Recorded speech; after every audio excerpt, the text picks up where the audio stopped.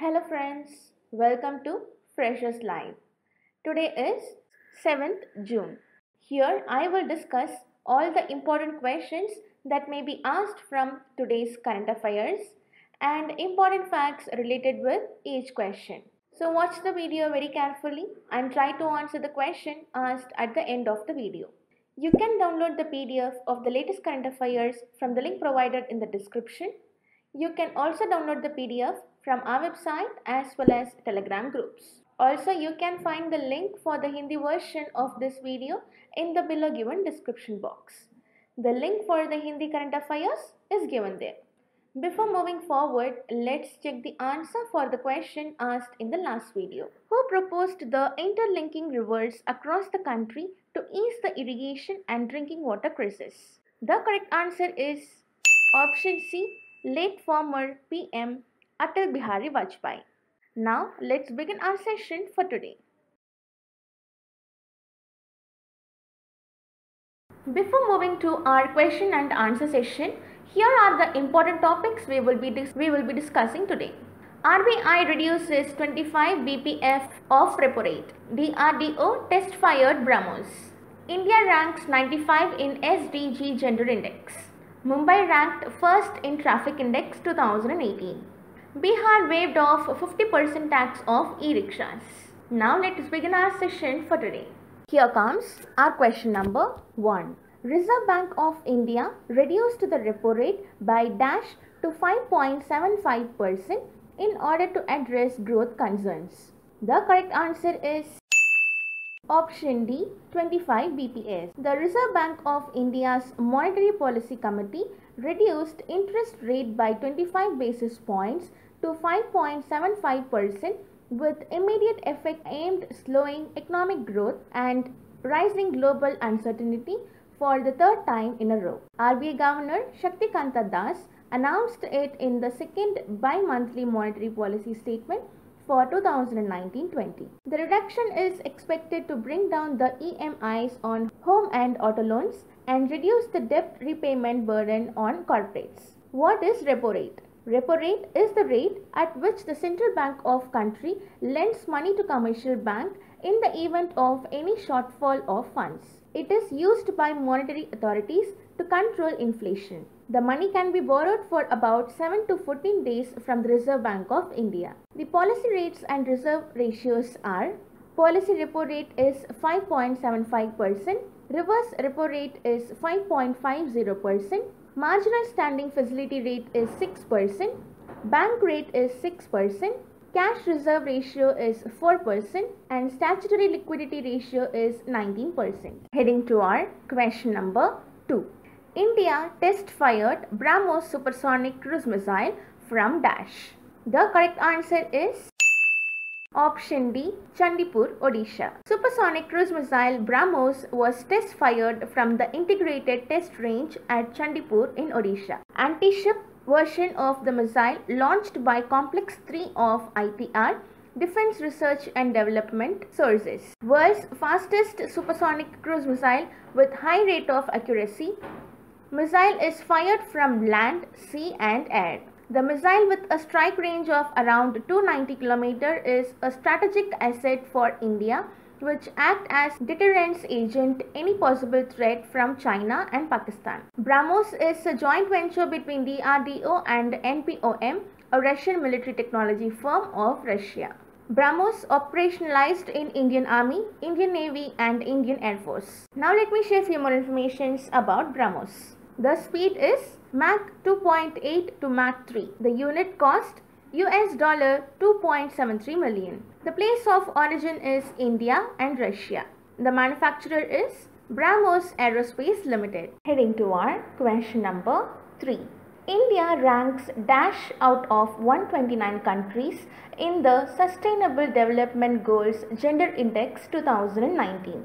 The correct answer is Option C 95. India ranked 95th out of 129 countries in Sustainable Development Goals Gender Index, a new index that measures global gender equality looking at aspects such as poverty, health, education, literacy, political representation and equality at the workplace. India's score of 56.2 on a scale of 0 to 100. The Sustainable Development Goals Gender Index has been developed by UK based Equal Measures 2030 a joint effort of regional and global organizations. The new index includes 51 indicators and covers 129 countries across all regions of the world.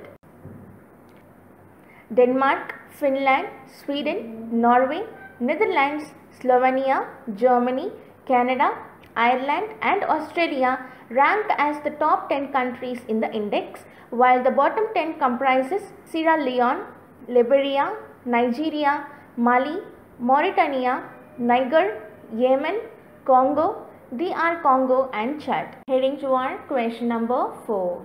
What is the name of the virus where Health Minister Dr. Harshvardhan reviewed its status in New Delhi recently? The correct answer is option A Nipah virus.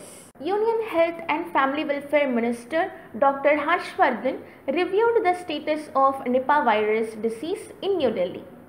A total of 316 contacts were being followed up on a daily basis. One positive case admitted in Ernakulam is now conscious and having mild fever and six symptomatic contact have been admitted in the quarantine facility at the medical college and all the samples were found to be negative. A sample from one symptomatic contact sent to NIV lab. Strategic Health Operations Center at NCDC has been activated and the activities are coordinated. 40 calls have been attended at SHOC NCDC regarding Nipah information. District Control Room has been set up in the Collector Office. The helpline number is 0484 Joint Commissioner deployed two experts to Ernakulam, Kerala to support local animal husbandry department in the investigation. On the basis of epidemiological investigation, team from NIV Pune and Animal Husbandry are investigating bats and other animals in the vicinity of this residence during the possible time of transmission of infection. The main base is epidemiological investigation. Team from National Institute of Virology Pune and Animal Husbandry are investigating bats and other animals in the vicinity of confirmed case residents. Nipah virus is a genus of RNA viruses belong to the family Paramyxoviridae and mononegavirales containing five established species. Nipah viruses are naturally harbored by pteropid fruit bats and microbats of several species. The specific name is Henipah virus. The rank is genus. Higher classification is Paramyxoviridae. Heading toward question number 5. Who is elected as the new president of the United Nations General Assembly? The correct answer is Option B Tijani Muhammad Bande. Nigeria's ambassador to the UN Tijani Muhammad Bande elected as the next president of 74th session UN General Assembly. In accordance with the rules, the president of the 74th session of the General Assembly should be elected from among the African states. He will succeed Maria Fernanda Espinosa. He assumes charge as the world body gets ready to celebrate the 75th anniversary of its creation in 2020. India offered its support to Mohammad Bande's candidature. Mohammad Bande said that his presidency will focus on peace and security, poverty eradication, zero hunger, quality education, climate action. Now let me share few more informations about United Nations General Assembly. It was formed on 1945. The president is Tijani Mohammad Bande. India's permanent representative to UN is Syed Akbaruddin. Heading to our question number 6. Which city ranked first in the study Traffic Index 2018 as most congested? The correct answer is option A Mumbai. An analysis of traffic congestion done in more 400 cities across 6 continents has found that commut commuters in Mumbai spent the most time in the road last year. Mumbai ranked first in the study Traffic Index 2018 by location technology specialist TomTom with a congestion level of 65%. New Delhi ranked fourth with a congestion level of 58%.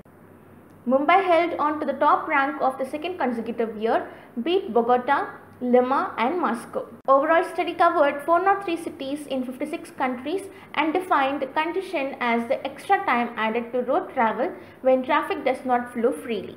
The best time in Mumbai without any congestion would be 2 am and 5 am when traffic flowed freely. The peak hours between 8 am and 10 am resulted in a congestion of 80% which shot up to 102% between 5 pm and 8 pm when offices shut for the day. August 21 considered as the worst day to be on the road bringing traffic movement to a complete standstill for the better part of the day leading to a condition of 111%. They suggested expanding the scope of the city's public transport network in order to provide end to end connectivity and businesses to provide flexible working hours to employees to ease traffic moving towards the suburbs. Moving to our question number 7. Who is appointed as the chairman of the Cabinet Committee on Parliamentary Affairs in the second term of the NDA government? The correct answer is Option A Rajnath Singh. Defense Minister Rajnath Singh is to chair the Cabinet Committee on Parliamentary Affairs in the second term of the NDA government. The panel takes all decisions pertaining to parliament matters.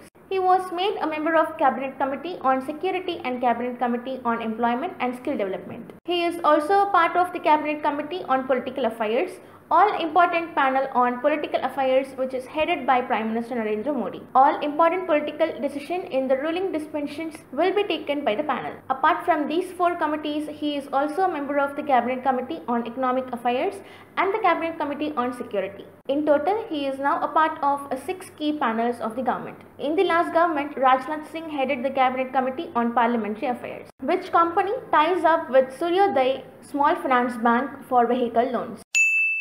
The correct answer is option B, Ashok Leyland. Ashok Leyland partnered with Suryodaya Small Finance Bank for vehicle loans. The two partners have signed an initial agreement to enter a strategic financing partnership for three years.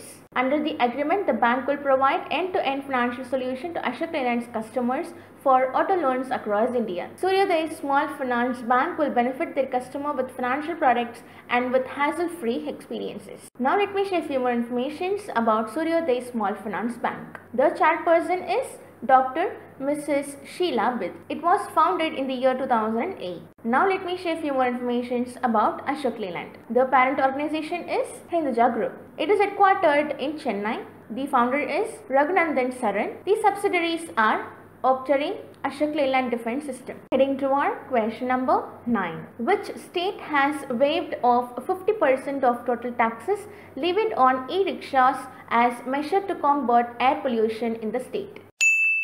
The correct answer is option D, Bihar. The Bihar state government has announced to waive off 50% of total taxes levied on the purchase and running of battery propelled e-rickshaws. E-rickshawas. The move is to combat air pollution. The announcement was made by the Deputy Chief Minister of State Sushil Kumar Modi. Three cities of Bihar namely Patna, Gaya Muzaffarpur is placed among the most 20 polluted city of the world in a report by the World Health Organization. Seven departments of the state government has collectively prepared an integrated action plan to tackle the menace of pollution in the polluted cities of Bihar. Also, the state has made arrangements in 45 fuel refilling centers in Patna alone to check the pollution emission from vehicle at over 500 fuel refilling centers in addition to run eco-friendly electric buses. Now heading to our last question, question number 10. Which metro becomes India's first project to receive power from waste to energy? The correct answer is option C, Delhi Metro. Delhi Metro became the first ever project in the country to receive power generated from a waste to energy plant the Delhi Metro Rail Corporation receiving 2 million watt power from a 12 million watt capacity waste to energy plant set up in Ghazipur. It is being utilized at the Vinod Nagar receiving substation for meeting the operational requirements of Pink Line of Delhi Metro. It will take approximately 17.5 million units per annum from this plant. The energy depends upon the actual generation of the plant. It is set up by East it is set up by East Delhi Waste Processing Company Limited and it is based on a public-private partnership involving the Delhi government and East Delhi Municipal Corporation. It is based on a public-private partnership involving the Delhi government. DMRC produces 28 megawatt of solar power from various rooftop solar power plants which have set up in its station, depots and residential premises the mass transit operator to receive solar power from the off-site solar power plant at Rewa in Madhya Pradesh. DMRC plants 10 trees for each tree. Cross to 4 lakh vehicles are being removed from the streets because of the Delhi metro station. Now let me share few more informations about Delhi Metro. It is a rapid transit system serving Delhi. The main cities are Gurgaon, Noida, Faridabad, Ghaziabad, Bahadurgarh and Ballabhgarh in the National Capital Region of India. It is the largest and busiest metro in India and also the second oldest after Calcutta Metro. To conclude this session, here comes the question of the day. Dash is the rate at which the central bank of country lends money to commercial banks in the event of any shortfall of funds. Try to answer the question and drop your answer in the comment box. Okay friends, that's for today. Thanks for watching our video. If you find the information provided in our video useful, please do like, share and subscribe our YouTube channel. Follow us regularly to stay updated on current affairs. Dear friends, are you looking for a job? End your search now. Visit fresherslive.com, the next generation of placement network.